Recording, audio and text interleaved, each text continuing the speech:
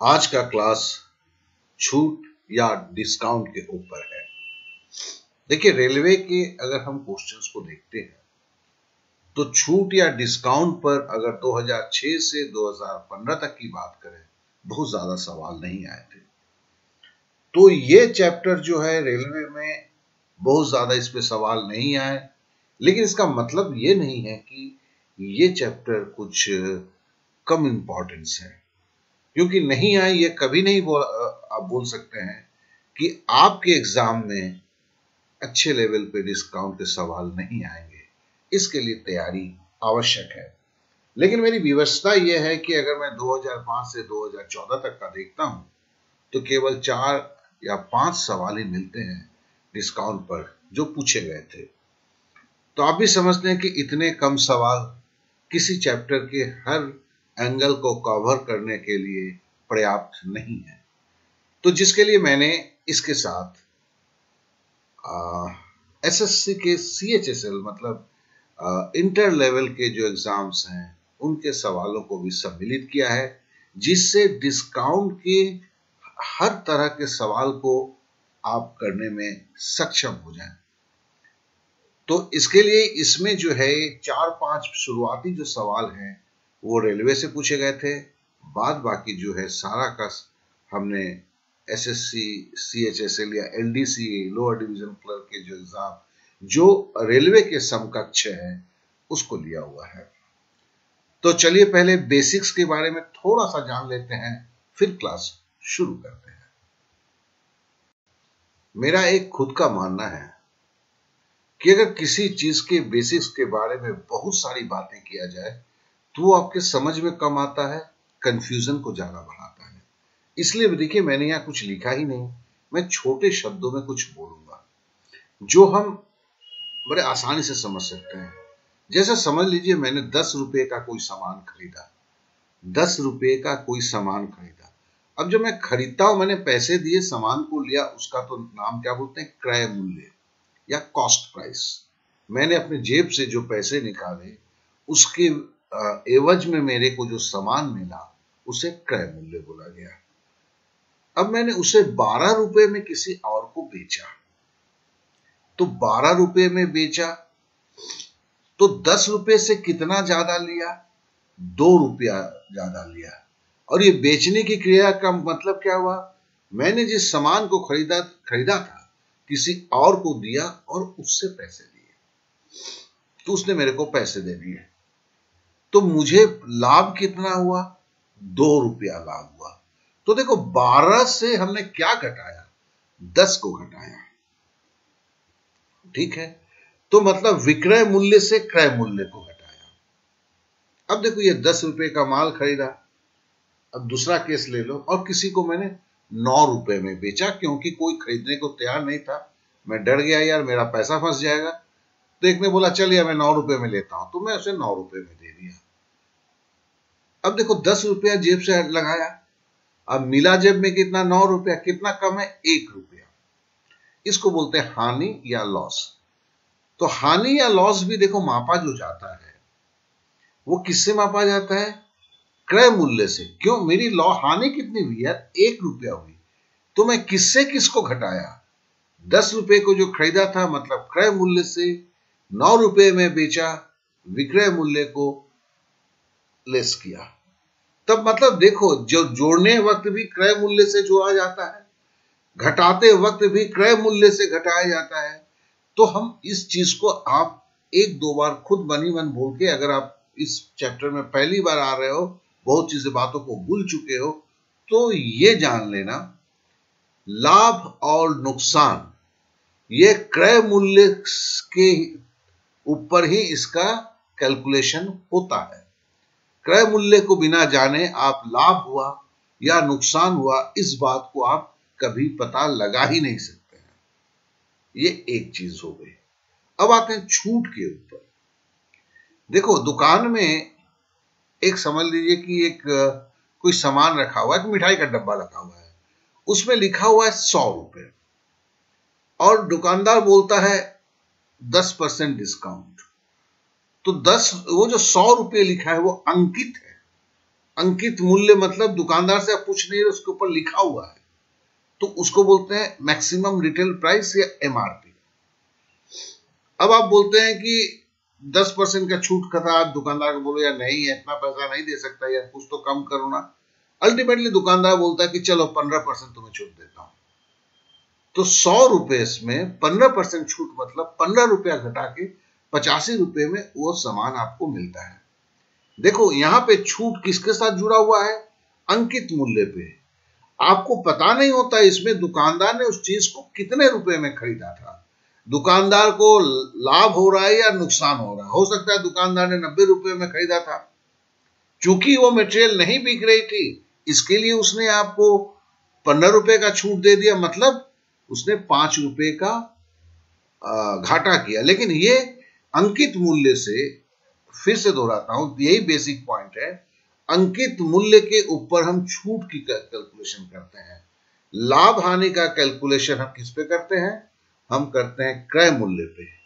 और छूट का जो कैलकुलेशन है, छूट की जो गणित है, वो किस पे होती है? अंकित मूल्य पे। और देखो, इसके साथ मेरे को तीसरा कुछ भी नहीं बोलना है, क्योंकि हम हम चैप्टर में चले जाएँगे। बस यही दिमाग में रखना है फिर से दोहराता हूँ लाभ या नुकस, नुकसान जो है प्रॉफिट या लॉस है उसका बेसिक क्या होता है? क्रय मूल्य। कितने में खरीदा गया है? उसी से इसे निकाला जाता है। उसी तरह छूट जो अप्लाई होता है डिस्काउंट जो अप्लाई होता है डिस्काउंट जो कैलकुलेट किया जाता है वो किस पे किया जाता है? अंकित मूल्य या एमआरपी पे। आशा करता हूँ ये दो पॉइंट आप लोगों के सामने काफ़ी ज़्यादा क्लियर हो चुका है।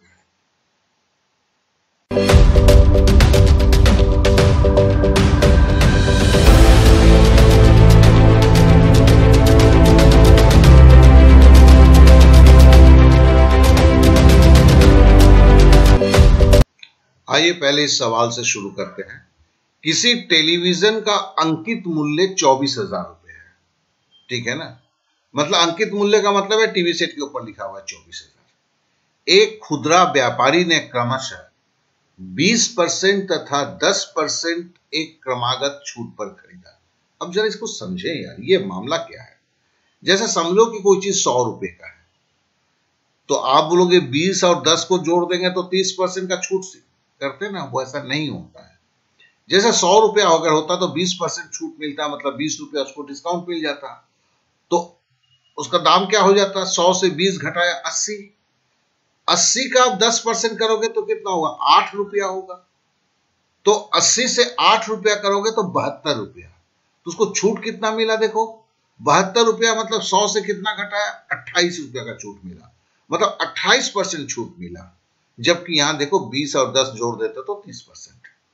इसके लिए इसका एक फॉर्मूला भी है। अब देखो फॉर्मूला से भी आप कर सकते हो और देशी मेथड से भी कर सकते हो। अब अगर देसी मेथड से करना है तो थोड़ा सिंपल होता है। फॉर्मूला से करना होता है, वो भी सिंपल होता है। फॉर्मूला के ऊपर भी आगे चल के हमने दिखाया है हम कैसे करते हैं। लेकिन अभी हम जरा देसी मेथड से करेंगे कि चीज़ें बहुत जल्दी झट से समझ में आ जाए। देखो, ये देखने में जितना है, बहुत कम वक्त लगता है। देखो, यहाँ चौबीस हज़ार है। चौबीस हज़ार में दो सुनना छोड़ो पहले तो दो सौ चालीस हो गया। अब देखो, दो सौ चालीस का बीस परसेंट क्या होगा? तो हम सीधे बोलते हैं ना, चौबीस दूनी अड़तालीस। देखो, चौबीस दूनी अड़तालीस लिखा, दो सुनना उतार दिया, इसको लेस कर दिया। उन्नीस हज़ार दो सौ हो गया। उन्नीस हज़ार दो सौ में भी देखो, यहाँ दो सुनना हमने फिर छोड़ा। एक सौ बिरानवे या उन्नीस हज़ार दो सौ का दस परसेंट क्या होगा यार उन्नीस सौ बीस, एक शून्य हट जाएगा। तो उन्नीस हज़ार दो सौ से उन्नीस सौ बीस। तो ये मतलब हमने कितना लेस किया? यहाँ देखो, बीस परसेंट लेस किया हमने। ठीक है ना? और जब उन्नीस हज़ार दो सौ आया उन्नीस हज़ार दो सौ से हमने कितना लेस किया? टेन परसेंट लेस किया तो हमारा आंसर निकल गया। तो ये जो है, ये किसी फॉर्मूला से इजीएस्ट मेथड है। जब तुम्हारा जैसे चौबीस हज़ार, पच्चीस हज़ार मतलब यहाँ पे अगर चौबीस हज़ार दो सौ बिरासी होता, ठीक है ना? सपोज़ चौबीस हज़ार दो सौ बिरासी करके कोई फिगर होता तो फिर मैं तुम्हें बोलता, यार तुम देसी मेथड्स में मत जाओ, ठीक है ना? ये अगर फिगर होता, ठीक है ना? ये कोई आंसर नहीं है तो ये फिगर है। तो यहाँ पे तो आपका देखो सत्रह हज़ार दो सौ अस्सी रुपया आंसर आया तो कहने का मतलब यही है कि आप इस देसी मेथड को अपनाएँ। ये आपको जल्दी कर देता है और चीज़ें आपके कंट्रोल में रहता है। तो जब भी क्रमागत छूट के बारे में तभी दिमाग में एक चीज़ आया होगा। आगे बहुत सारे हम क्रमागत छूट के ऊपर सवाल करेंगे तो हमारा कंसेप्ट जो इसके ऊपर क्लियर हो जाएगा। और देखो, इस तरीके में जो बोलते हैं, जिसमें हमने कहीं पर भी आपका इसका इस्तेमाल नहीं किया है, शब्दों का इस्तेमाल नहीं किया है, इसके लिए हम क्या बोलते हैं स्टेप्स ऑमिट मेथड चलिए अब नेक्स्ट सवाल। आइए जरा देखें कि इस तरह के सवाल जो हैं ये रेलवे के सवाल हैं। इस तरह के सवाल को हम कैसे हम इस पे करें? क्या करते हैं? स्टेप्स ऑमिट मेथड में करें। क्या बोलता है? यदि अंकित मूल्य लागत मूल्य से 30 परसेंट अधिक हो तो भैया एक्स लेने की ज़रूरत नहीं है। हम मान लेते हैं कि लागत मूल्य, क्रय मूल्य कॉस्ट प्राइस सौ रुपया है।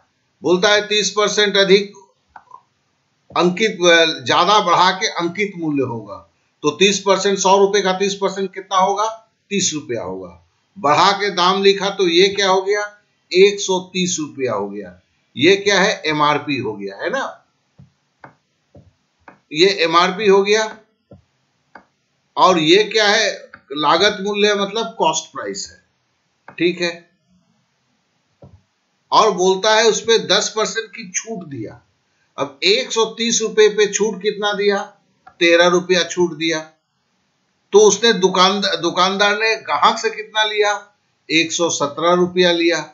अब एक सौ सत्रह रुपया लिया और उसका खरीद भाव कितना था? सौ रुपया। तो नफा कितना हुआ? प्रॉफिट कितना हुआ? सत्रह रुपया हुआ। मतलब सौ रुपये पे हिसाब है तो सत्रह परसेंट हुआ। तो देखो, इस तरह के मैथ को बिना एक्स लिए फटाफट किया जा सकता है और मैं पहली बार नहीं कर रहा हूँ। जो भी छात्र है, इस चीज़ को जानते हैं, वो ऐसे ही फटाफट करते हैं। नहीं तो दूसरे लोग, ना समझ लोग एक्स लेके इसकी इतिहास बनाते हैं। आप कृपया ऐसा ना करें। आप सिंपल मेथड्स में जाएँ, क्योंकि देखो, यह बड़ा सारे सौ रुपया है, चलो तीस परसेंट बोला है, लागत मूल्य से ज़्यादा है तो आप क्या कलम लगाओगे? नहीं भैया, सौ के साथ तीस जोड़ दिया, एक सौ तीस, दस परसेंट की छूट है। एक सौ तीस का दस परसेंट का छूट मतलब तेरह रुपया एक सौ तीस से तेरह रुपया घटा लिया तो एक रुपया। अब सौ रुपया तो खरीदे भाव था तो सौ रुपया हटा दिया उसमें से तो सत्रह हुआ तो सत्रह परसेंट लाभ हुआ अब टिक मार के निकल गए तो ये जो चीज़ है इसको जरा करो क्योंकि आज के डेट में एग्ज़ाम क्वेश्चन बनाना ही आ, आपका कोई तीर मारने वाला काम नहीं होता है बल्कि वक्त पे क्वेश्चन को बनाना वो असल में तीर मारने वाला काम होता है। तो चलिए हम नेक्स्ट सवाल पे चलते हैं। देखिए क्लास के शुरुआत में ही मैंने बोला हुआ था कि मैंने एक डीडी एकेडमी का एक ऐप है और जिसको मैं एक स्वयं संपूर्ण ऐप बोल रहा हूँ और इसके बारे में आपको भी जानना ज़रूरी है क्योंकि ये पेड भी है फ्री भी है, दोनों है। इसमें कुछ चीज़ों पे पैसे लगते हैं, कुछ चीज़ एकदम फ्री है, जो आपकी तैयारी में काफ़ी ज़्यादा हेल्पफुल होगा। तो ये ऐप कहाँ मिलेगा? सबसे पहले आप आप अपने मोबाइल के प्ले स्टोर में चले जाएँ। वहाँ पर जैसे मैंने लिखा हुआ है डीडी एकेडमी टाइप कर दें। तो देखिए, यहाँ पे दो आपको ऐप के सिंबल नज़र आएँगे। जो चौकोर है, इसे आप नहीं लेंगे, उठाएँगे। ये जो गोल जो डीडी एकेडमी लिखा हुआ है, इसे आप इंस्टॉल करेंगे। जैसे ही इंस्टॉल करेंगे, आपके पास देखेंगे कि ये ऐप इंस्टॉल हो जाने के बाद उसको जैसे क्लिक करेंगे, आपके पास आएगा देखिए ये फॉर्म इसमें देखिए एक स्टडी जोन है। मतलब यहाँ सारी पढ़ाई के कोर्सेस अवेलेबल हैं। ये देखिए पेमेंट जोन है। जो जो कोर्स को पे करके आपको करना है, उसके लिए पेमेंट जोन है। यहाँ डीवीडी कोर्स है। तो चलिए हम पहले, हम पकड़ लेते हैं कि हम स्टडी जोन को क्लिक करते हैं। इस स्टडी जोन को हमने क्लिक किया, देखिए ये मेरे मेरी कल्पना में ये एक यूनिवर्सिटी की रूप है, जो डीडी एकेडमी का यूनिवर्सिटी मैं तो कभी यूनिवर्सिटी नहीं बना सका। तो सोचा कि चलो ऐप में ही बना लेते हैं। तो उसमें देखो, ये अब जैसे इसको क्लिक किया, ये सारे कोर्सेज दिख रहे हैं। बेसिक मैथ की कोर्स यूपी पुलिस की course railway ALP plus NTPC full course फिर एसएससी सीजीएल की आ रही है। एसएससी जीएससी एचएसएल की बैंक की सारी कोर्सेस हैं। अब इसके अंदर में भी इसके अंदर में देखो फ्री कोर्स और पेड कोर्स एक ही साथ है। और ये किसी ऐप में नहीं मिलेगा, इतना विस्तृत नहीं मिलेगा, इसका मैं भरोसा आपको दिला सकता हूँ। तो चलिए जरा देख लेते हैं कि आगे माजरा क्या है। अब पहला है कि मैं, मेरी एक सोच है दोस्त। मेरा क्या सोच है कि अगर क्वालिटी स्टडी कैसे हम किसी चीज़ को परफेक्टली सीख लें कि एग्ज़ाम हॉल में कभी मुझे धोखा नहीं हो। यह काफ़ी ज़रूरी है। तो देखिए मैं मैंने अपने जीवन में क्या कि मैं शायद यूट्यूब में आ, सबसे ज़्यादा बुज़ुर्ग तो नहीं वही बोलूँगा मैं क्योंकि मैंने पता भी नहीं है कितने लोग हैं इसमें। लेकिन जब भी देखता हूँ किसी और का उनसे तो बुज़ुर्ग ज़रूर हूँ। तो फिर मैंने इन पढ़ाते पढ़ाते बच्चों को जो है मुझे जो दिखा कमज़ोर अगर छात्र है, थोड़े से पढ़ने में कमज़ोर है या आपका एग्ज़ाम मिस हो रहा है और मैथ के चलते हैं तो क्या करना है आपको? पहले एक मैथ को पढ़िए, पूरा वीडियो ने एक मैथ को जानिए, फिर उसके ऊपर एक या दो सवाल खुद लगाइए, फिर टाइमली रिवीजन कीजिए। ठीक है ना? बोलना बड़ा आसान है। नया चीज़ मैंने कुछ नहीं बताया। लेकिन आज के दिन में जैसे आपको वीडियो मेरी ही वीडियो देखिए आज की वीडियो मैंने दस सवाल एक साथ दे दिए। दस दस तरह के सवाल हैं। अब देखने के बाद आपको लगा रही यार मैं तो समझ गया। लेकिन जब लगाने गए तो सर नहीं लग रहा है। कारण क्या है? कारण यही है कि आपने उस पर प्रैक्टिस नहीं किया। सबसे सुंदर अवस्था क्या होता है? देखो दोस्त, एक मैथ को जानो फिर उसके ऊपर प्रैक्टिस करो। तो कहने का मतलब अगर मेरे को कहीं किसी भी दुनिया के किसी कोचिंग क्लास में, अगर मैं कमज़ोर छात्र हूँ तो सबसे पहले ज़रूरत है, मेरे को दस मैथ एक साथ नहीं सिखाया जाए। क्या कि दस मैथ सीखने के बाद, दिमाग में सारा चीज़ रखने के बाद नहीं होता है? मेरे को अजीब लगता है दोस्त, एकदम आप किसी डांस क्लास में चले जाओ, पहले आपको एक स्टेप सिखाया जाता है, उस पर प्रैक्टिस करवाया जाता है उसके बाद दूसरा स्टेप इसलिए डांस क्लास में सबको मज़ा आता है, हमसे मुझसे नहीं हो रहा, ये बातें नहीं चलती है। ठीक है ना? अब, लेकिन मैथ के किसी क्लास में हम जाते हैं तो सर को उसका वक्त ही नहीं है, डेढ़ घंटा में आपको पढ़ाना है। अगर सर एक मैथ लिख के दिए और बोले कि भैया तुम अब इसके ऊपर चलो, एक मैथ तुमको बनाने के लिए देता हूँ देखे वो करे। तो वो क्लास आपके दो साल में भी खत्म नहीं होगा। लेकिन साथ साथ में एक सच्चाई ये भी है कि दो साल में वो क्लास जो तैयारी होगा, वो आप कितने भी कमज़ोर है मैथ सीख लेंगे। इसे खुद दिल से सोचो यार। तो फिर मैंने सोचा कि चलो, मेरे को तो अगर मैं भी क्लास लेता, बात सच्चा है, एकदम सच है कि मैं बारह घंटे की तो क्लास नहीं कर सकता किसी के साथ। तो फिर मेरे को एक चीज़ तो और ज़रूर करना होगा। कहीं तो मैं ये व्यवस्था करूँ कि जब लड़का एक मैथ सीखता है तो उसके साथ खुद वो एक मैथ या दो मैथ लगाता है उसी कंसेप्ट के ऊपर। तो जब वो खुद लगाता है, तब तो उसे पता चलता है कि उसको क्या गलती है, क्या समझ में नहीं है। और उसी वक्त उसको कोई हाथ थामने वाला भी होना चाहिए कि अगर जब नहीं लग रहा है तो मतलब है वीडियो सुनने के बाद भी उसके कंसेप्ट क्लियर नहीं होते हैं। तो कोई चाहिए, उसे बता दे कि भैया तुम्हारी गलती है, तुम्हारी सोच ये गलती इसको ऐसे नहीं, ऐसे करो। तो मैंने इन चीज़ों को इस ऐप के अंदर में डाला है, जो मैं अभी आपको बताने वाला हूँ। तो सही में अगर कुछ करना चाहते हैं तो मेरे को लगता है कि यह तरीका जो है, एक काफ़ी अच्छा तरीका है। फिर टाइमली रिवीजन हाँ भैया रिवीजन की बात करते हुए सही देखो हम रिवीजन कम करते हैं, हम आगे की तरफ़ बढ़ते हुए चले जाते हैं, जो अपने आप में एक मुसीबत का ज़रिया बन जाता है। चलिए दूसरे आते हैं रीजनिंग पे रीजनिंग में देखो कंसेप्ट को समझना ज़रूरी होता है थ्योरी को समझना ज़रूरी होता है। अगर ये कैसे हो रहा है, क्योंकि कंसेप्ट जो है, वो एक नॉर्मल कंसेप्ट नहीं होता है रीजनिंग में तर्क शक्ति में। उसके बड़े घुमाए हुए रहते हैं। तो उसके ऊपर रिवीजन काफ़ी ज़रूरी है। उन्हीं क्वेश्चन के ऊपर। उससे ट्विस्ट भी क्वेश्चन नहीं होना चाहिए। उसी पे होना चाहिए रिवीजन तो फिर क्या होता है? वो कंसेप्ट हमारे साथ आता है। साथ साथ में एक गाइडेंस की तो कोई तो हो, होने वाला। इसलिए आप देखेंगे, एक मज़े की बात मैं ओपनली बोलता हूँ। बहुत सारे हैं। आप लोग में रीजनिंग में बड़ा अच्छा करते हैं। मैथ में क्यों अच्छा नहीं करते? क्यों? क्योंकि मैथ आपने कभी एक करके, एक मैथ सीखने के बाद, सुनने के बाद आप उस पर नहीं लगाते हैं। और चूँकि ये नहीं है, इसके लिए बड़ा मुश्किल हो जाता है।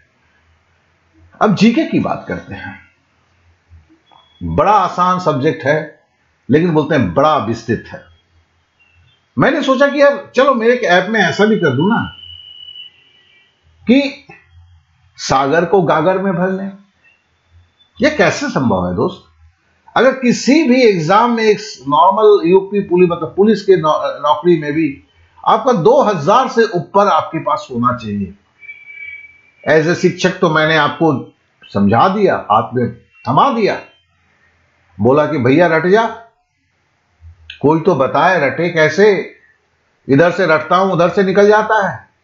कोई तो तरीका मुझे बताए कि मैं कैसे रटूं कि निकल गया हुआ चीज़ भी मेरे पास फिर से रह जाए। तो इसको भी मैंने ऐप में लिया हुआ है। चलिए हम कैसे करते हैं, जरा समझ लें। अब जैसे मैंने बोला था कि आपको दिखाया था कि मैंने कि ऐप क्या है। अब इस ऐप में सपोज़ अब बेसिक मैथ की कोर्स को आप क्लिक करते हैं। तो देखिए यहाँ पे फ्री वीडियो है। ये देखो पहला दिन है, यहाँ पे कोर्स है मतलब अगर आप फ्री में पढ़ रहे हैं, मेरे किसी भी पेड सर्विस का आप नहीं लेते हैं तो भी आपका रूटीन बना हुआ है। पहला दिन क्या पढ़ेंगे? फ्रैक्शन वन फ्रैक्शन टू भिन्न का पार्ट वन भिन्न का पार्ट टू ये वीडियो आप यहीं पे देख ले, चाहे आप यूट्यूब में देखें या यहाँ देखें। यूट्यूब में क्या कि ढूंढना पड़ता है, और यहाँ पे ढूंढना नहीं पड़ता है। अब देखिए, अब जो आता है कि जिन्होंने पैसे दिए सपोज़ इस कोर्स की बात करता हूँ यार, कि आपकी मैथ में कमज़ोर है तो सबसे पहले जो ज़रूरी है, आपकी कमज़ोरी मतलब जैसे भिन्न का ज़ोर, गुना, भाग, घटाओ, दशमलव का, घात, घातांक का, समीकरण का, वर्गमूल, घनमूल का, भागा देना, ये बहुत सारी प्रक्रियाएँ हैं जिसपे आपको सिद्ध हस्त होना होगा। यहाँ तो वीडियो देखा, जो वीडियो आपको यूट्यूब में भी अवेलेबल है, यहाँ पे क्या है कि आपको ढूंढना नहीं पड़ता है, पहले दिन में क्या पढ़ेंगे, दूसरे दिन में क्या पढ़ेंगे फ्री में ये चलता हुआ रहता है। अब आते हैं इस पार्ट को। देखो, ये क्लासरूम है, ये पेड कोर्स है। ये फ्री नहीं है, ये फ्री है, ये फ्री नहीं है, देखो, लिखा भी नहीं है। तो ये क्लासरूम में क्या है, ये भी देखो 24 घंटा चलने वाला है। कोई समय की बंदिश नहीं होता है यहाँ। 24 घंटा चलता है। अब देखिए यहाँ पे जैसे ही आप क्लिक करते हैं तो फिर हो सकता है कि यही वीडियो यहाँ पे आता है। लेकिन मैंने क्या बोला हुआ था? एक क्वालिटी स्टडी में क्या हुआ? यहाँ देखो वीडियो दिया हुआ है। यहाँ क्या है? वीडियो का एक मैं दिया हुआ है एक तरीका बताया गया उसके बाद आपको दो आपसे खुद कर, करने के लिए बोला जा रहा है। सारा का सारा जो है एक ऑटोमेटिक प्रोसेस है, एक वेब में चल रहा है। वीडियो में, चूँकि आपका ये ऐप में है, इसमें आपके नेट भी काफ़ी कम एक्सपेंस होते हैं। और साथ ही साथ सबसे बड़ी बात क्या है कि आप एक चीज़ देखें, भिन्न का जैसे जोड़ना आपने सीखा। मैं बेसिक क्लास की बात कर रहा हूँ। इमीडिएट आपको दो जोड़ने का बोला गया। तो फिर क्या हुआ कि आपको एक महसूस हुआ, आपने दोनों जब जोड़ना सही किया तो आपके दिल में जो है ना तसली हाँ यार, मैं तो ये सीखा। जो यहाँ नहीं है। अब ऐसे करके हर स्टेप को वीडियो आ रहा है, आपको दो करने के लिए बोला जा रहा है। वही सीखना है। अब ये सीख लिए, अब देखिए यहाँ प्रैक्टिस टेस्ट। प्रैक्टिस टेस्ट मतलब जो सीखे हैं, उसी पे सवाल है। ये पहले दिन का है। तो फिर अगर हम पढ़ने की बात करते हैं तो क्वालिटी स्टडी की बात करते हैं तो क्या होता है? वीडियो के एक एक सवाल को देखो, देखने के बाद दो खुद लगाओ, लगाने के बाद ये प्रैक्टिस टेस्ट में जाओ, ये रिवीजन है। यहाँ रिवीजन का मतलब कोई मॉक टेस्ट पेपर नहीं है है सब ऑनलाइन पेपर इसमें आपको गलतियाँ कितना हुआ मार्क्स कितना मिला, सब मिला, लेकिन जो पढ़ाया गया उसी पे है। मॉक टेस्ट का पेपर तो जहाँ से आप अगर दूसरे कहीं से लेते हैं, उसे तो पता नहीं है कि आपने पढ़ा क्या है। तो उसमें मॉक टेस्ट क्या होगा, वो पूछ रहा है आपने राम पढ़ा उसने रहीम के बारे में पूछा। तो हर वक्त सरदर्द बना हुआ है। तो आप समझ सकते हैं ये हुआ। अब जरा चलिए ये तो फ्री कोर्स का हम समझ गए। तो मतलब अगर ये ऐप लेते हैं तो किसी भी आप इंस्टॉल कर लेते हैं तो किसी भी विषय पे किसी भी अब सब लग रहा है भी ये डाटा जा, जा रहा है इसके अंदर में आपको पर्टिकुलर चैप्टर की कोई वीडियो चाहिए तो वहाँ अवेलेबल है मेरे गैलरी में। अब आते बेसिक। देखिए पेमेंट जोन में जैसे क्लिक करते हैं तो बेसिक मैथ फुल कोर्स आता है मतलब ये, इसका पेमेंट मांगा जाएगा। अगर आप ये क्लासरूम आप प्रैक्टिस से लेकर करना चाहते हैं UP police full course payment है रेलवे कोर्स फुल पेमेंट है कंप्लीट मैथ वीडियो कोर्स है। देखो ये फुल कोर्स है। मतलब ये, और इसमें केवल वीडियो आते हैं। कंप्लीट रीजनिंग वीडियो है। चलिए हम बेसिक मैथ फुल कोर्स को हमने किया। अच्छा आपको क्या लगता है? कि बेसिक मैथ का कोर्स चौदह दिन का है, सात दिन की आपकी पूरी क्लासरूम एंड प्रैक्टिस टेस्ट होता है और सात दिन और केवल प्रैक्टिस होता है। क्योंकि आप इससे निकल जाए, जब कंप्लीट हो जाए तो फिर आप ये ना बोले जो सालों साल से बोल रहे हैं कि मेरा बेसिक कमज़ोर है। चाहे आप यूपी पुलिस की तैयारी कर रहे हैं, चाहे रेलवे की तैयारी कर रहे हैं, चाहे कुछ भी तैयारी कर रहे हैं आपका जो है मैथ कमज़ोर है तो सबसे पहले आपको क्या करना होगा? सबसे पहले आपके बेसिक्स को सुधारना होगा। और ये बेसिक्स क्या है भैया? ये बेसिक्स है कैलकुलेशन की बेसिक्स हम जब कैलकुलेशन करते हैं तो कभी जोड़ना पड़ता है, कभी हमें भिन्न का जोड़ आता है, भिन्न का गुना आता है, दशमलव का जोड़ गुना आता है, हमें वर्गमूल की स्थिति आती है। जैसे समीक ये आपका समीकरण करना पड़ता है। तो करना मतलब है कि सरलीकरण की हम देखते हैं, सारी एक्टिविटी उसके बगैर आप कोई मैथ कर ही नहीं सकते। गुना करना पड़ता है, दो संख्या का गुना करना पड़ता है, तेज़ी से गुना करना, ये सारी चीज़ आपको सिखाया जाता है। क्या लगता है दोस्त? मेरे को कोई आप कमेंट्स करके बता देना, सर। दो सौ रुपए में कोई इतने सारे चीज़ों को देके पढ़ाता है।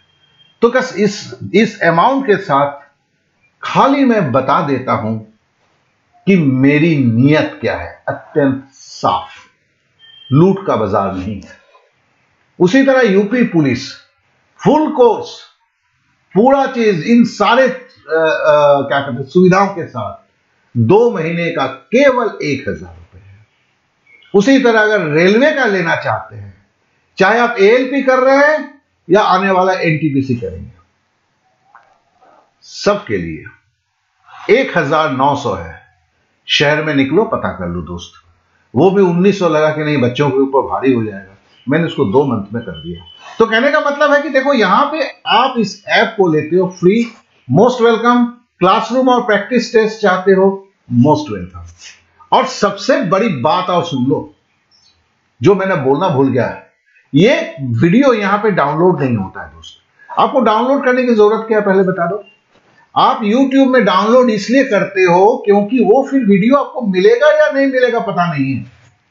मेरे को खुद की वीडियो अगर ढूंढना होता है तो नहीं मिलता है दोस्त लेकिन यहाँ पे जब आप यहाँ पे ऑर्गेनाइज है आप जिस दिन से आपको खोलो अब जैसे बेसिक मैथ का या फिर, फिर से मैं एक बार देख लेता हूँ तो सारे वीडियो सीरियली अवेलेबल है। कोई प्रॉब्लम नहीं है यहाँ। और यहाँ पे अगर हम क्लासरूम की बात करते हैं जिसमें और यहाँ की भी वीडियो डाउनलोड नहीं होते हैं, लेकिन डाउनलोड होते हैं। कैसे? जब तक ये वीडियो फॉर्म में है, डाउनलोड नहीं होगा। लेकिन एक मैथ को लगाने के बाद दो मैथ की जैसे प्रैक्टिस करेंगे। करके उस चैप्टर का, उस दिन का जितना है, करके जैसे सबमिट बटन दबाएँगे तो तुरंत इसकी एक कॉपी वीडियो के साथ आपके ईमेल में आ जाता है। तो मतलब समझे? ऐसा कहीं नहीं है। इसका मतलब एक ही है कि आप वीडियो ना लो, और वीडियो लो। वीडियो लो तो वीडियो फॉर्म में ही आपके पास आता है। लेकिन खाली वीडियो डाउनलोड करते हो तो आपको यह पता नहीं चलता है कि इसमें आपकी गलतियाँ क्या हुई। मतलब अगर 40 मैथ है और उसमें से आपने 35 मैथ को सही किया है तो दोस्त उसे फिर से देखने की ज़रूरत नहीं है, उसको रिवीजन करने की ज़रूरत है। तो आपके ईमेल में जो है, ये वीडियो एक एक एक एक करके आते उसके बाद आपने जो कोशिश किया, उसका है। तो फिर आपको पाँच मैथ जो उसमें गलती हो वही तो आपको करना है ना। तो ये सुविधा जो है, इसके अंदर है। और जैसे ये यहाँ पे आप करते हैं तो देखते हैं कि ये बेसिक मैथ का ये खुल जाता है। और ये बेसिक मैथ का खुल जाने के बाद क्या होता है, जरा उसे भी देख लेते हैं। अब जरा मैं एक बात को बताना चाहता हूँ, जो पहले बोलते बोलते रह गया था। कि ये वीडियो डाउनलोड नहीं हो सकते हैं, लेकिन जो पेड क्लास में है, उनकी वीडियो डाउनलोड अलग तरीके से होता है। कैसे होता है, जरा देखें। सपोज़ आपने एज के ऊपर क्लासरूम में क्लास किया। अब उसके बाद क्या होने वाला है, आप देखें। अब जैसे ही क्लासरूम में क्लास करते हैं और ये क्लास करके निकलते हैं मतलब पूरे आपने क्वेश्चंस को कर लिया। आज के क्लास का, समझ लीजिए कि आपको 20 क्वेश्चन उसमें 20 वीडियो थे या 10 वीडियो थे और उसके साथ 20 प्रैक्टिस सेट लगाना हुआ। आपने लगाने के बाद जैसे सबमिट का बटन दबा दिया, तुरंत क्या हुआ कि ईमेल में देखिए कैसे पहुँचता है। देखिए वो वीडियो वहाँ डाउनलोड नहीं होता है, लेकिन यहाँ देखिए, यहाँ पे इसका लिंक है और ये दो सवाल है, सवाल का जवाब है। तो उसमें क्या हुआ कि आपने जो सवाल में ट्राई किया, यहाँ जैसे करते फिर खुलता है कि आपने क्या किया था और सही जवाब क्या है। तो इस तरह करके ये वीडियो टुकड़े टुकड़े में आते हैं। तो कहने का तात्पर्य क्या है कि भैया, पहले जब वीडियो देख के पूरा मैंने सीखा, उसमें कुछ गलतियाँ रह गई थी। तो मेरे को वहाँ 20 सवाल था कि फिर से मेरे को रिवीजन करना है तो 20 सवाल को करूँ। वो तो मैं प्रैक्टिस में करूँगा।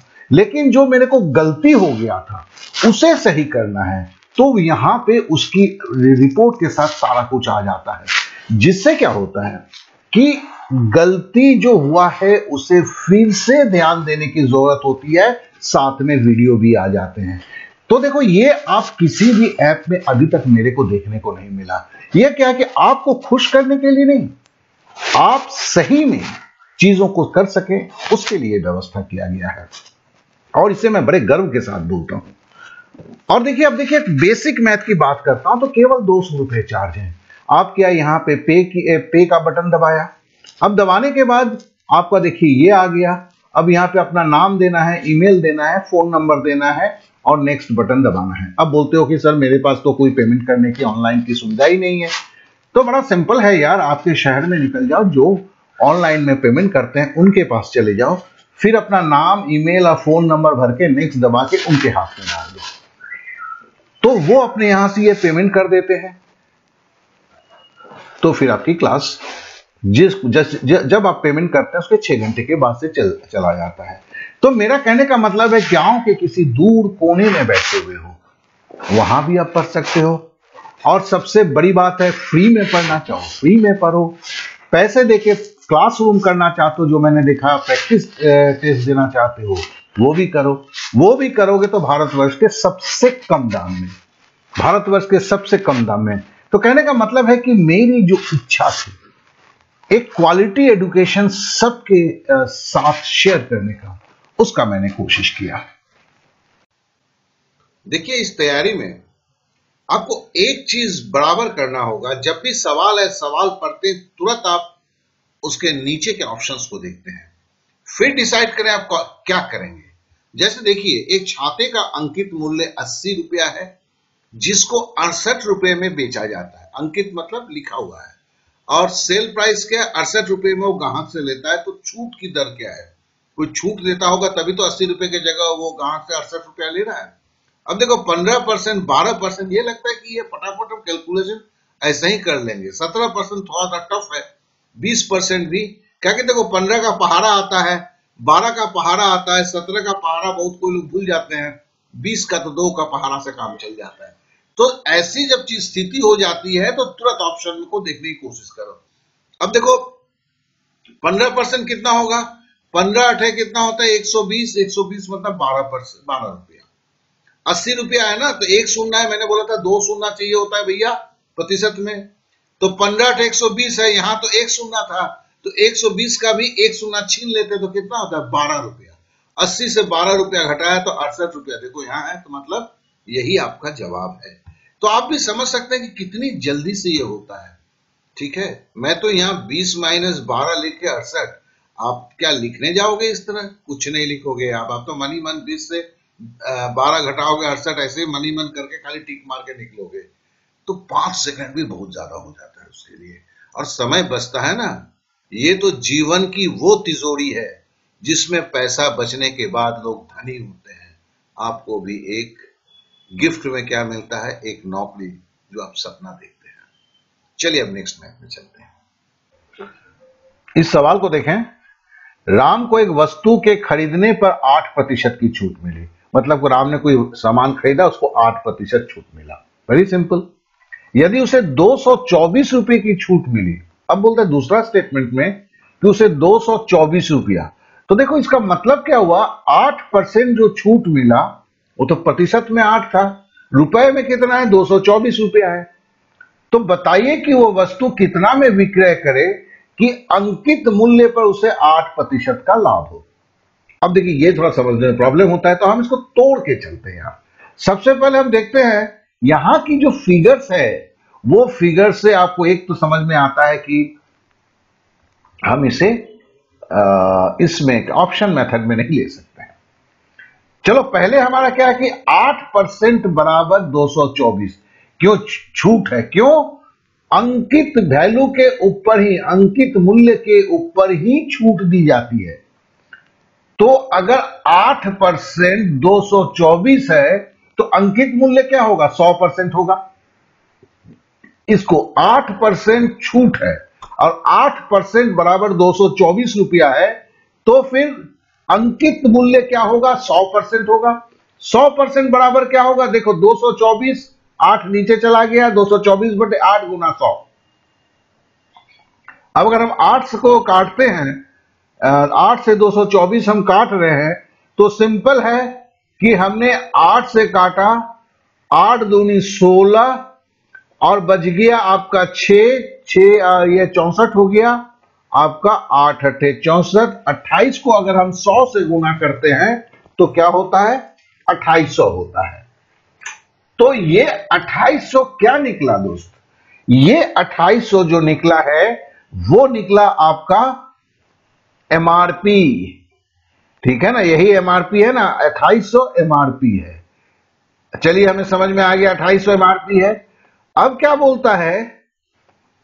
बताइए कि वस्तु को कितना में विक्रय करे कि अंकित मूल्य पर उसे आठ प्रतिशत लाभ हो। तो अट्ठाईस सौ सौ परसेंट है। ठीक है ना? तो अट्ठाईस सौ क्या है? सौ परसेंट है। देखो, अट्ठाईस सौ के नीचे सौ चला गया। और आठ परसेंट मतलब आठ परसेंट मतलब एक सौ आठ परसेंट। क्यों? एमआरपी को सौ को भी तो लेना होगा। इसको ध्यान में रखेंगे।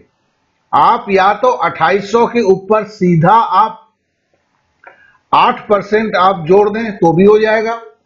और या तो 2800 बटे 100 गुना 108 करें तो भी हो जाएगा तीन हज़ार चौबीस रुपया होगा।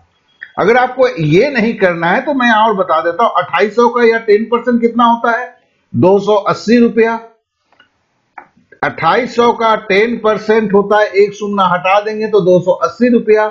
और एक परसेंट कितना होगा इसका मतलब? अट्ठाईस रुपया। तो दो परसेंट क्या होगा? अट्ठाईस दूनी छप्पन रुपया होगा। इससे आप छप्पन रुपया लेस कर देते हैं। ठीक है ना? तो आपको दस में से छह गया चार, और आपका दस में से छह गया चार, सात में से पाँच गया दो। दो सौ चौबीस रुपया हुआ। तो आप यहाँ पे दो सौ चौबीस, अट्ठाईस सौ के साथ दो सौ चौबीस रुपया अगर जोड़ देते हैं तो कितना हो जाता है दोस्त? सुन्ना सुन्ना के साथ चौबीस जोड़े तो चौबीस ही होगा। ठीक है ना? और अट्ठाईस के साथ अगर दो जोड़ेंगे तो तीस होगा। तो मतलब वही तीन हज़ार चौबीस रुपया जो आया, यहाँ भी आया। तो मर्ज़ी आपकी है कि आप कैसे करेंगे। ये भी ठीक है या यहाँ से सीधा आ जा सकते हैं। तो ये ज़्यादा समझ में आता है। अगर आपको ये कम समझ में आ रहा है, और दोनों में आपको उतना ही लिखना है। ज़्यादा कोई रामायण लिखने की ज़रूरत नहीं है। तो आपको जो सही लगे वैसा ही करें। चलिए अब नेक्स्ट सवाल पे चलते हैं। अब जरा इस सवाल को देखें। ये एसएससी सीएचएसएल 2015 में आया हुआ था। एक दुकानदार अपने सामान पर लागत लागत मूल्य से 20 परसेंट अधिक मूल्य अंकित करता है। मतलब 20 परसेंट मतलब सौ रुपए का अगर माल है तो 120 रुपया उस पर लिख डालता है। और उस पर पाँच परसेंट की छूट देता है तो उसकी लाभ प्रतिशत क्या है? तो देखिए, ये स्टेप ऑमिट मेथड है, जिसमें हम कोई टेक्स्ट नहीं लिखते हैं। और हम मनी मन जो चीज़ को लिखना है मनी मन घुराते हैं।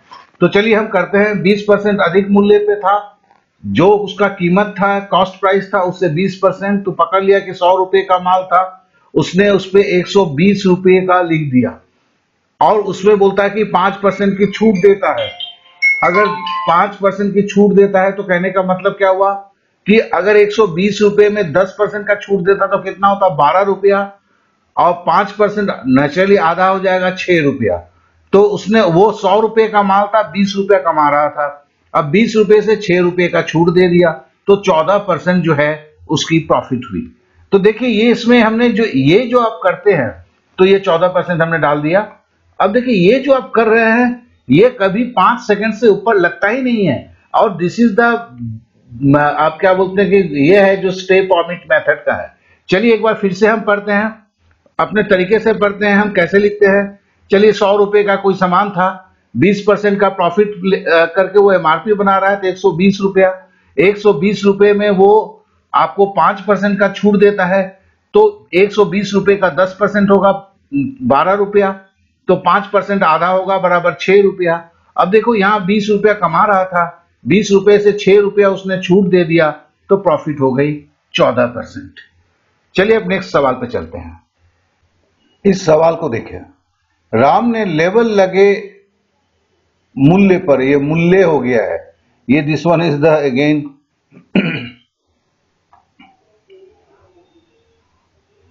ये मूल्य नहीं होगा दिस वॉज़ द मूल्य होगा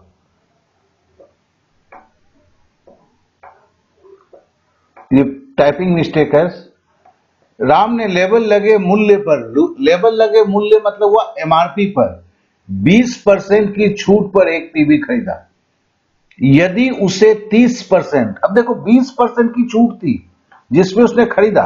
बोला कि अगर 30 परसेंट की छूट पर खरीदा होता तो खरीदा नहीं है। 30 परसेंट की छूट अगर मिलती तो तो मतलब कितना ज़्यादा मिलता? 20 के जगह 30 मतलब 10 परसेंट ज़्यादा मिलता। तो उसे 800 रुपए की बचत होती है। काफ़ी मूल्यवान है। उसके द्वारा खरीदे गए टीवी सेट का मूल्य कितना था? नेचुरली हम स्टेप ऑमिट मेथड से करेंगे, पाँच से दस सेकंड में करेंगे। तो देखो, हमने क्या किया? तीस परसेंट की बीस परसेंट पे तो वो खरीदा था। उसको जितना देना था, उसमें बीस परसेंट छूट मिला था। लेकिन तीस परसेंट मिलता मतलब दस परसेंट अगर ज़्यादा मिलता तो आठ सौ रुपए उसके बचते मतलब आठ सौ रुपया उसको पेमेंट नहीं करना पड़ता। अब देखो टीवी का मूल्य क्या है? सीधी सीधी बात किसी भी चीज़ की मूल्य क्या होता है? सौ परसेंट होता है। तो दस परसेंट बराबर आठ सौ सौ परसेंट करने के लिए क्या होगा? इसे हमें दस से गुना करना होगा। और उसी तरह, अगर इसको दस से गुना करेंगे, आठ सौ को भी हम गुना कर देंगे दस से तो क्या हो जाएगा? आठ हज़ार हो जाएगा। तो आठ हज़ार उसके मूल्य हो गए। तो फिर हमारा आंसर निकल गया। और ये कभी भी आपका पाँच सेकंड से ज़्यादा लगता नहीं है। फिर से हम देखते हैं। बोला गया एमआरपी पे 20 परसेंट छूट लेवल लगे मूल्य मतलब एमआरपी पे 20 परसेंट छूट पर राम टीवी खरीदता है। और अगर 30 परसेंट के छूट पर खरीदा होता तो आठ सौ रुपए की बचत होती। तो कहने का मतलब है 30 से 20 घटाया तो 10 परसेंट हुआ ना। 10 परसेंट बराबर आठ सौ रुपया तो 100 परसेंट मतलब टीवी का दाम। तो दस को 10 से गुना करते हैं तो सौ होता है 800 को भी 10 से गुना कर दिया तो आठ हज़ार हो गया। तो आशा करता हूँ कि यह सवाल भी आपको समझ में आया होगा और कितने छोटे में और सिंपल में कर सकते हैं। देखिए, विधि एक ही है, खाली हम स्टेप ऑमिट मेथड क्या है, हम टेक्स्ट को कर हटा देते हैं और एक लय में करने की कोशिश करते हैं, जो बड़ा ही छोटा हो जाता है और सहज हो जाता है। चलिए, अब नेक्स्ट सवाल को हम देखते हैं। अब जरा इस सवाल को देखें। जब एक स्वेटर पर 20 परसेंट छूट दी जाती है तो 28 परसेंट का लाभ होता है। यदि 14 परसेंट कर दी जाए मतलब छूट को अगर 14 परसेंट कर दिया जाए तो लाभ प्रतिशत कितना होगा? तो इसको होगा होगा क्वेश्चन मार्क होना चाहिए। यहाँ पे भी आ, गलती हो चुकी है यहाँ पे क्वेश्चन मार्क होगा। एनीवे anyway, तो देखिए हमने ये ब्लॉक मेथड को अपनाया है। और ये ब्लॉक मेथड में तीन खाने हैं। और तीन खाने को भी याद रखना होगा किस खाने पे आपने कौन सा फ़ंक्शन किया था। तो this is the block method तो चलिए हम इस पर हम देखते हैं। पहला क्या बोलता है उसे हम समझ लें कि 20 परसेंट की छूट दी गई भाई। तो सौ रुपए का कोई अगर सामान होगा 20 परसेंट छूट दिया होगा तो उसकी कीमत कितनी होगी? अस्सी रुपए होगी। अब बोलता 28 परसेंट लाभ होगा। 28 परसेंट लाभ होगा तो मतलब देखो इसको 1.28 से भागा दे दिया। अस्सी रुपए पे उसने बेचा 20 परसेंट छूट दी मतलब 100 रुपए का मटेरियल को उसने 20 रुपया छोड़ दिया 80 रुपए में बेचा। देखो इसलिए ऊपर 20 परसेंट लिखा 20 परसेंट छूट था तो सौ रुपए में से 20 परसेंट छोड़ दिया तो 80 रुपए में बेचा। 80 रुपए में बेचा, बेचने 80 रुपए में बेचने के बाद भी उसे 28 परसेंट लाभ होता है। तो हमें निकालना क्या है भैया? हमें निकालना है कि भाई आ, उसकी खरीद दाम क्या था? तो इस ब्लॉक में हम क्या निकाल रहे हैं? खरीद दाम निकाल रहे हैं। तो 80 को हमने 1.28 से भागा दे दिया। 28 परसेंट लाभ देखो वन जो है कीमत है और ये लाभ है। तो 1.28 अब देखिए अगर हम 80 को 1.28 से भागा देते हैं तो क्या होगा? आठ से दे दिया, चलिए ये दस हो गया, अस्सी हो गया। और आठ से जब हम इसे देते हैं तो पॉइंट होगा, आठ एक कम आठ होगा, और अड़तालीस है तो मतलब का क्या हुआ? छ अठ अड़तालीस। और इसे अगर हम दो से फिर भागते भागा देते हैं, ये फाइव होता है, और ये आपका जो है दो से भागा दिए तो पॉइंट ज़ीरो एट हो गया। तो कहने का मतलब क्या है कि अब फटाफट करना है तो हम क्या करते हैं? पाँच है, नीचे देखो पॉइंट ज़ीरो एट है इसके लिए। पाँच सौ हुआ। पाँच सौ को हम आठ से अगर भागा देते हैं तो यही होता है छह अठे अड़तालीस हुआ। तो बच गया कितना? दो बच गया। ये बीस हुआ। दो कितना बार जाएगा? आठ दूनी सोलह बार जाएगा। और बचा कितना भैया? चार बचा। और अगर हम यहाँ दशमलव उतार देते हैं तो ये चालीस हो जाता है और ये पाँच डाल दिया तो मतलब ये भी चालीस हो गया। तो ये बासठ पॉइंट पाँच रुपया ये क्या है खरीदा है ये पहला घर में है, हमने खरीद दाम निकाला। फिर से बोलता हूँ कि देखो 20 परसेंट छूट दिया था तो सौ रुपए का माल कितना होगा? अस्सी रुपया। अट्ठाईस परसेंट लाभ हुआ तो खरीद दाम निकालने के लिए बेचने के भाव को 1.28 से भागा दे दिया। भागा दे दिया तो बासठ पॉइंट पाँच रुपया निकल गया। ये बासठ पॉइंट पाँच रुपया जो है, ये खरीद दाम है। अब बोलता है कि अगर 14 परसेंट छूट दिया जाता तो सौ में से चौदह का लेस करते हैं तो छियासी रुपया होता। और वो बासठ रुपया पचास पैसे से तो खरीदा था ये हमें पता है। अब ये बासठ पॉइंट पाँच यहाँ लिया। तो ये तेईस पॉइंट पाँच क्या होता है? लाभ होता। ठीक है ना? अब बोला कि लाभ की प्रतिशत निकालने के लिए। तो हम ये तीसरा खाना लिया लाभ प्रतिशत निकालने के लिए। देखो, ये लाभ है, ये लाभ है और नीचे क्या है? क्रय मूल्य है ये लाभ कमाया, कितना रुपया लगा के? बासठ रुपया, पचास पैसा लगा के। ठीक है ना? और ये ये ये कट गया। और जब हमें प्रतिशत को निकालना है तो नेचुरल यहाँ पे गुना सौ होगा, जो छूट चुका है इस सौ से जैसे हमने गुना किया तो 37.6 परसेंट आपकी प्रॉफिट निकल गई। तो देखिए, यहाँ पे कैलकुलेशंस को तो ऑमिट नहीं कर सकते हैं। कैलकुलेशंस के लिए ये आपका 15 सेकंड ज़रूर लेगा, ठीक है? लेकिन एक बात साथ में साथ ये भी है कि ये ब्लॉक मेथड छोड़ के आप कुछ भी अपनाने जाएँगे, इतने सहज में नहीं होगा। लेकिन ये ब्लॉक मेथड की ब्यूटी क्या है? इसके हर ब्लॉक एक फ़ंक्शन करता है। जैसे यहाँ पे क्या है कि मैंने खरीद दाम निकाला, फिर दूसरे में क्या है कि अब नए स्थिति में लाभ क्या होगा? तीसरे घर में हमने क्या किया? लाभ प्रतिशत निकाल दिया। तो this is the block method every block जो एग्जिबिट्स ए पर्टिकुलर फ़ंक्शन तो इसमें तीन ब्लॉक हैं। पहला ब्लॉक में हमने खरीदाम निकाला। दूसरे इसमें ब्लॉक में हमने जब ये आपका डिस्काउंट रेट डिफरेंट हो गया है तो लाभ कितना होगा? तीसरे में हमने लाभ के प्रतिशत को निकाला। तो आशा करता हूँ कि इसमें भी कहीं कोई प्रॉब्लम नहीं आया होगा। और आप इस तरह के ब्लॉक मेथड को मैं, क्योंकि आप खुद ही करके देख सकते हैं, आप दूसरे तरह से करते हैं तो खुद करके देख लीजिए, जहाँ टेक्स्ट की आप यूज़ करते हैं तो वहाँ कितना समय लगता है और यहाँ कितना समय लगता है। तो चीज़ें आपके सामने एकदम क्लियर हो जाएगा कि कौन सी मेथडोलॉजी को आपको अपनाना है। चलिए हम नेक्स्ट मैथ पे चलते हैं। देखिए सवाल को एक दुकानदार एक वस्तु की कीमत उसकी वास्तविक लागत से 30 प्रतिशत अधिक नियत करता है मतलब फिक्स करता है। तो मतलब अगर सौ रुपए की कोई वस्तु होगी, तीस रुपया उसमें बढ़ा के रखेगा वो मतलब सौ रुपए में किसी चीज़ को खरीद के लाया, भैया दुकानदार है, बेचेगा ना तो उसने तीस रुपया बढ़ा के उसका दाम एक सौ तीस रुपया कर दिया। बोलता है कि यदि उससे अंकित मूल्य पर दस परसेंट की छूट देता है, भैया एक सौ तीस रुपए पे अगर दस परसेंट छूट देगा तो कितना देगा? तेरह रुपया छूट देगा। मतलब ये सुनना को हटा दो ना। दस परसेंट मतलब तेरह रुपया। तो सौ रुपए के माल पे उसने तीस रुपए का फ़ायदा सोचा हुआ था। अब तीस रुपए के फ़ायदा में उसने तेरह रुपए का छूट दे दिया तो अब फ़ायदा कितना होगा? सत्रह प्रतिशत। प्रतिशत क्यों दिया? क्योंकि सौ के हिसाब से हम चल रहे थे तो सीधा सीधा सत्रह परसेंट हमने लिख दिया।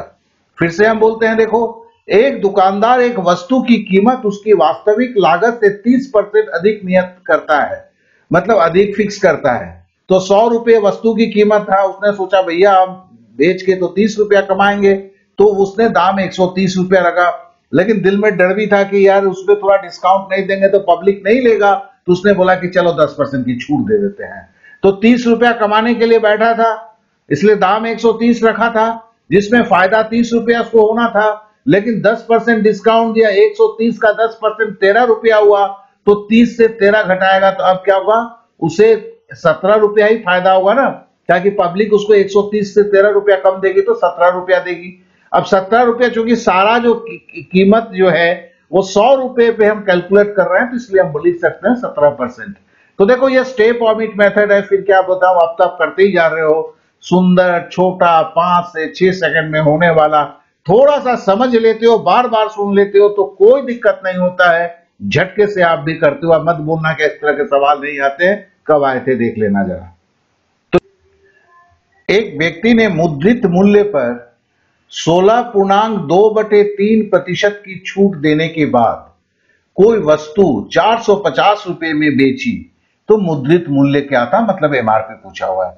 सबसे पहले देखिए, ये जो संख्या है, ये संख्या का मान आपको जानना है।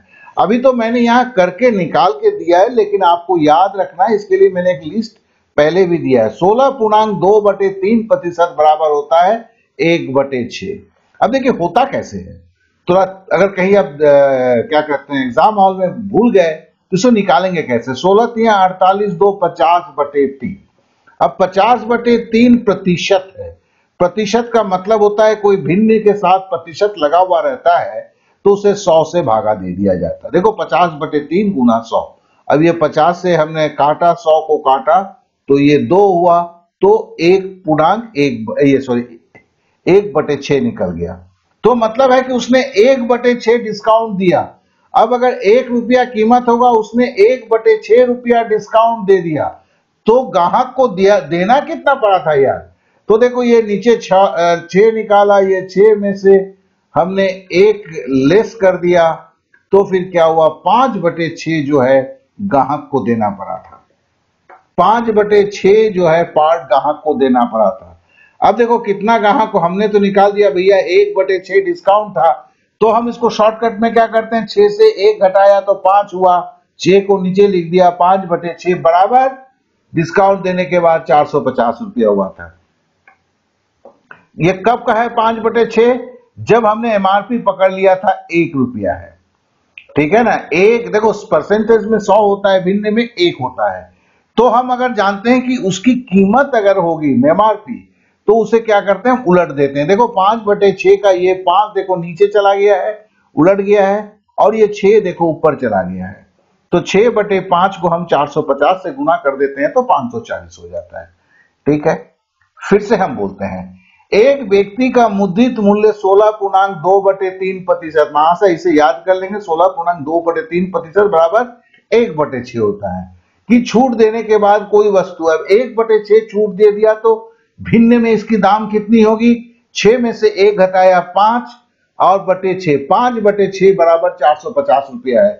तो अंकित मूल्य कितना होगा? मुद्रित मूल्य जो है, वो होगा एक होगा। एक होने के लिए हमें क्या करना होगा? पाँच बटे छह उलट के छह बटे पाँच से साढ़े चार सौ को गुना कर देना होगा। तो ऐसे पाँच सौ चालीस रुपया निकल जाता है।